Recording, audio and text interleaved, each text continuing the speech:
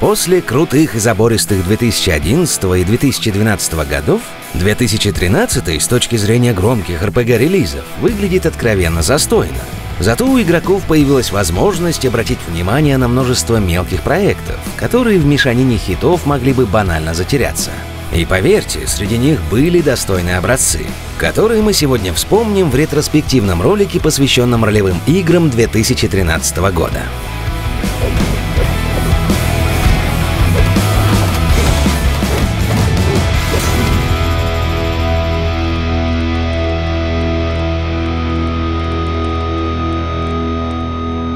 Подавляющее большинство тайтлов в этом ролике не снискали общемировой славы уровня какого-нибудь Ведьмака. Но даже сегодня они могут стать интересным открытием для тех фанатов жанра, что несколько подустали от помпезности игр первого эшелона.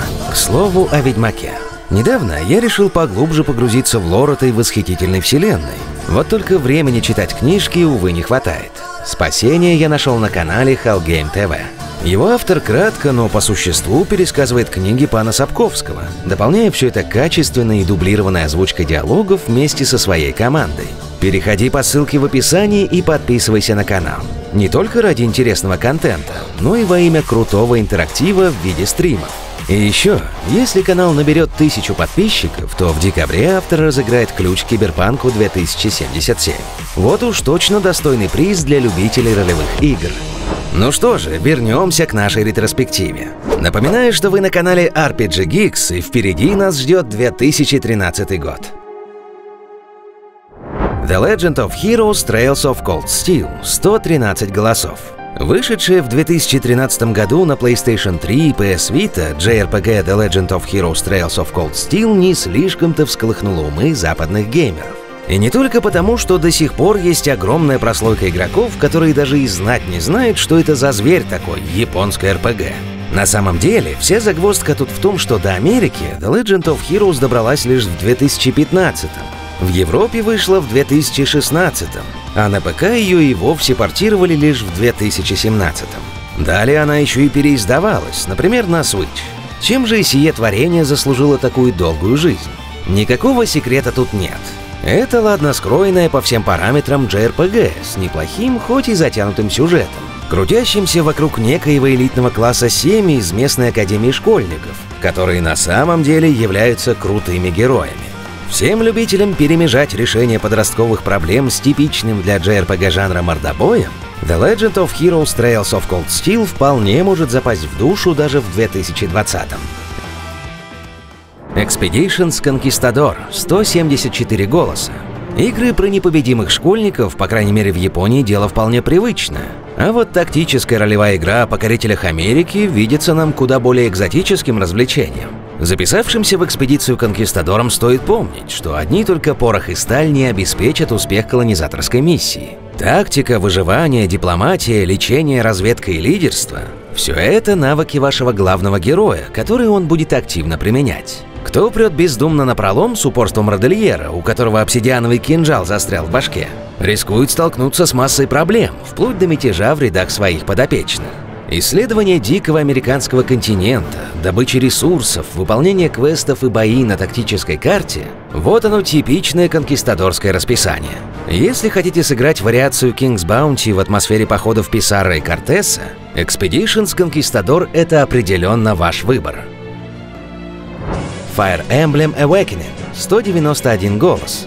Fire Emblem Awakening – эксклюзив платформы Nintendo 3DS, а потому нет ничего удивительного, если вы о ней не слышали. Впрочем, этой игре, высоко оцененной по всему миру критиками и фанатами серии Fire Emblem, приписывают, например, увеличение продаж 3DS. В Awakening вам предстоит сражаться, сражаться и еще раз сражаться. Игра переполнена различными битвами, причем весьма толковыми. Классов бойцов, каждый из которых обладает своими уникальными навыками и уязвимостями, предостаточно. И дело тут не ограничивается стандартными стрелками и танками. Есть, например, рыцарь на Пегасе. Привет-привет, Disciples 2. Однажды мы непременно сделаем про тебя видео. Вне боев вам предстоит не только разбираться с местным сюжетом, но еще и налаживать отношения внутри своего отряда, что, конечно же, будет влиять на его эффективность в бою. В общем, если у вас завалялась Nintendo 3DS и вы хотите сыграть в проверенный временем хит, не забудьте про Fire Emblem Awakening. Lightning Returns Final Fantasy 13, 281 голос. И тут кто-нибудь из наших зрителей может возопить. Опять японцы, да что ж это творится-то? Да, действительно, в 2013 году японские игры блеснули, хотя и не столь ярко, как могли бы. Lightning Returns Final Fantasy 13 будет последней японской игрой в нашем сегодняшнем топе. Верхние места достались более привычным глазу западного игрока проектам. Про эту же часть бесконечной серии Final Fantasy сказать-то особо нечего. Во-первых, сама по себе она оказалась достаточно проходной, как в сюжетном плане, так и во многих других элементах, вроде дизайна локаций. Во-вторых, играть в нее кому-то, кто не знаком с почтенной серией Final Fantasy, не стоит.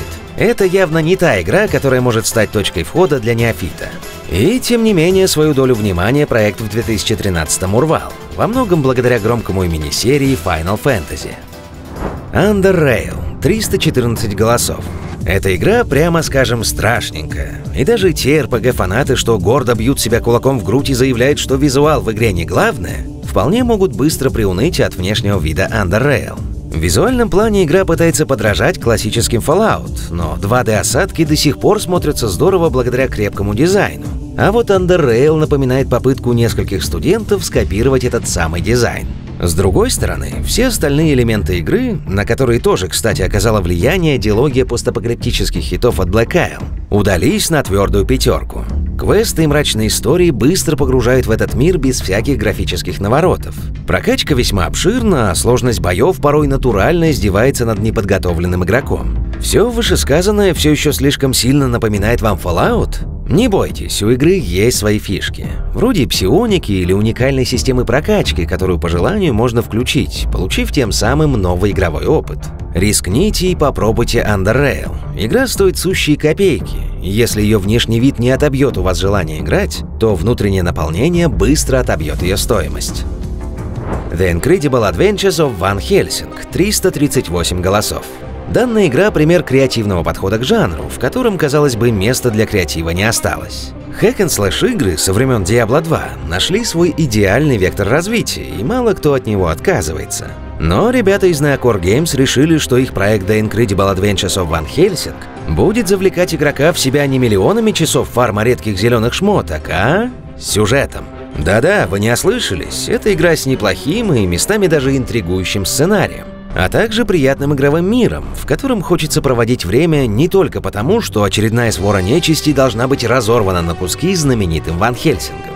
Необычный стиль позволил проекту обзавестись своей фан-базой. Недаром приключения Ван Хельсинга в конце концов разрослись до трилогии. Если до сего момента вам казалось, что вы попробовали в жанре Hack and Slash абсолютно все, пересмотрите свое мнение и непременно обратите внимание на эту игру. Shadowrun Returns – 1088 голосов. Серебро в нашем сегодняшнем топе уходит Shadowrun Returns. Игре про людей, эльфов, троллей и прочую фэнтезийную нечисть, уживающуюся друг с другом в сеттинге киберпанка. Пожалуй, именно необычный игровой мир, базирующийся на основе настолки Shadowrun, является главной козырной картой этой игры. Крутую историю, снабженную множеством хорошо написанных диалогов, здесь также сопровождают кривоватый баланс и уж очень аскетичный линейный дизайн. Shadowrun Returns – первый блин из очень вкусной трилогии, и многие ее недостатки разработчики постарались исправить в последовавших продолжениях Shadowrun Dragonfall и Shadowrun Gangkong. Так что если захотите познакомиться с этой удивительной вселенной сегодня, можете сразу переходить к этим играм. Куда более несовершенную Returns, тем не менее взобравшуюся на серебряный пьедестал, мы рекомендуем лишь тем, кому очень понравятся Dragonfall и Gangkong, и они захотят немедленной добавки. И прежде чем мы огласим лучшую RPG 2013 года, по мнению наших подписчиков из паблика RPG Geeks ВКонтакте, назовем проекты 2013 достойные упоминания. Dungeons and Dragons Chronicles of Mystara Shin Megami Tensei 4 Monster Hunter 4 Mars Warlocks Neverwinter Online Arcade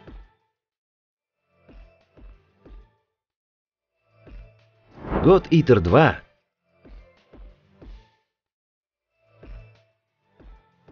Dragon's Crown Divinity Dragon Commander, The Dark Eye Demonicon и Heroes of Dragon Age.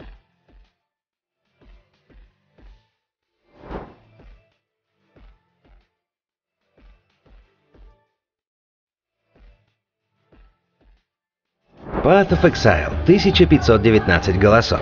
Сколь бы милой и смелой нам не казалась The Incredible Adventures of Van Helsing, роль самой крутой RPG и по совместительству самой крутой Hack and Slash в 2013 году урвала Path of Exile. После разочаровавшей многих фанатов Diablo 3, в ролике, посвященном 2012 году, мы рассказали, что же с ней было не так. Path of Exile явилась миру как достойная наследница классики Blizzard. Опять же, как и в случае с Under Rail, речь не идет о тупом копировании. Чувствуется, что разработчики Path of Exile вдохновлялись Diablo 2, но у них было предостаточно собственных оригинальных идей. Да и на воспроизведение гениальной формулы Blizzard они не собирались останавливаться. Авторы искали способ ее улучшить. И нашли, подарив игрокам воистину ветвистую и разнообразную прокачку.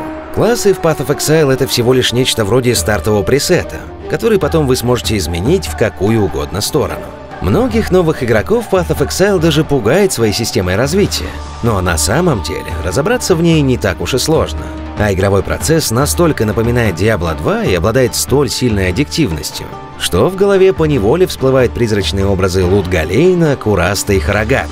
Однозначно, Path of Exile — самый яркий RPG-проект 2013 -го.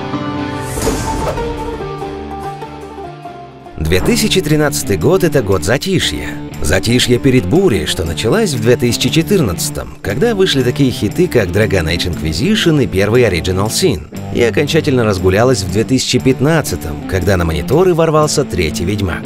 Обо всех этих годах мы также непременно расскажем вам, а взамен просим лишь подписаться, поставить лайк этому видео и ударить в колокол.